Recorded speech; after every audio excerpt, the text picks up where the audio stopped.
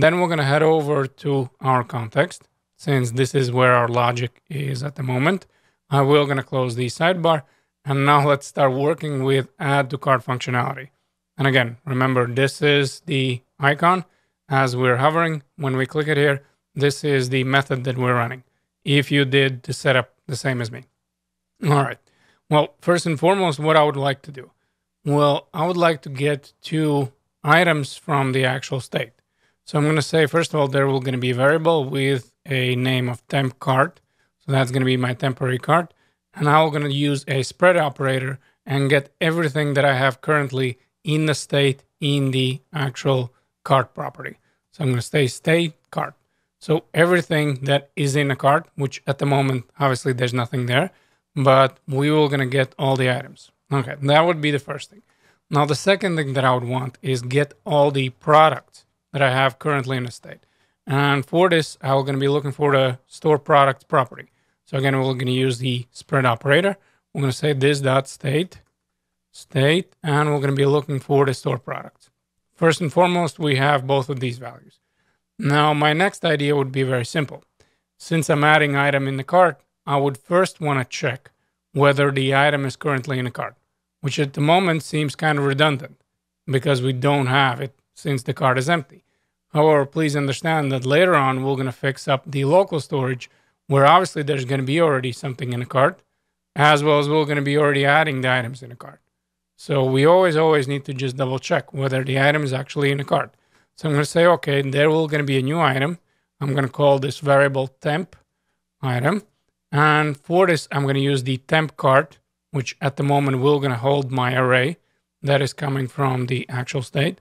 And I'm going to say temp cart, which obviously is the variable name, use the find method. And remember the difference between the filter and find was that the find will gonna get me the single item. The filter would return me the whole array. And then of course I can access the zero value since is I'm looking for just one item, but we might as well use the find method because that will gonna return me just that one item. And I'm gonna say, all right, filter through the temp cart array and if the item, if each and every item I'm checking, if the item will gonna have the ID that matches the ID that we passed here within add to cart, then you will be my item. So I'm gonna say, all right, I found my item. Now, like I said, in this case, for sure, we're not gonna have it. So I'm gonna start, all right, if temp item will be undefined. So if there will be no item in a cart, so let's say temp item, if the item is undefined, then I would like to add some things here. Well, what I would like to add? Well, first and foremost, if we're looking at a finished project, and if you're adding at it, you can see that there is an amount. So I would want to add a property by the name of count, which is going to be counting how many items of this particular product are in the cart.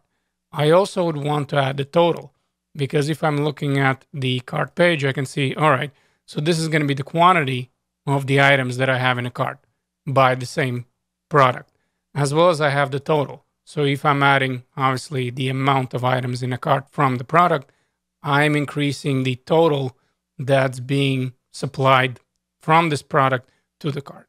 So for that, I'm going to say, all right, first and foremost, if the item is not there, I would want to get that item from the product because obviously, if the item is not in a cart, it for sure will going to be in the product because the item is displayed kind of self-explanatory, right?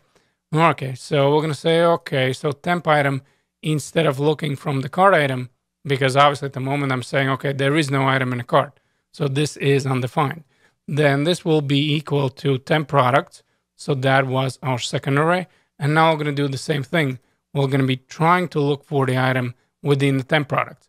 Now in this case, for sure, the item is gonna be there because again, the item is actually displayed.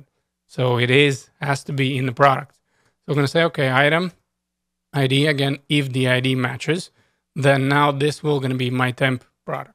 Okay. All right. So let's keep on moving. And I'm going to say let total. So this will be the property that I'm going to add right now to this item. So I'm going to say temp item. You will going to have the total property. However, in the very beginning, the total property will going to match what is the price. So if the price is going to be 10, then count obviously will be one in the cart, and then obviously, last but not least, the total also will gonna match the price. So I'm gonna say temp item, whatever the item that is coming from the product, you will have a total property, which at the moment we haven't added it yet, but I'm creating a variable for that. And I'm gonna say the total variable at the moment, we're gonna match whatever you have in a price. So if your price is 20, then the total also is gonna have 20. If the price is, I don't know, 30, then obviously the total will gonna match 30. All right. And then now I would want to structure a new item in the cart. So the way I'm going to do that, I'm going to say, all right, there will going to be a new variable. I'm going to call this cart item. And again, we will going to do the spread operator because I'm getting this item from the product. But what I would like to do is get a new item in the cart. So I'm going to say get all the properties from the temp item. That's going to be number one. So I'm getting everything that is in temp item. And by the way, if you don't want the description that also comes with, obviously you can do a little bit more destructuring and just get rid of it. But in my case, I'm getting all the properties. Then I'm also going to add one more property where I'm going to say the count since the item is not in the cart at the moment. I'm going to say, all right, I will going to be adding this.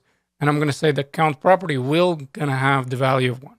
And last, I'm going to add the total property. Like I said, this was the variable. And now I'm just adding this property using the spread to the item that I just created. And now, last but not least, I do have my temp cart, right?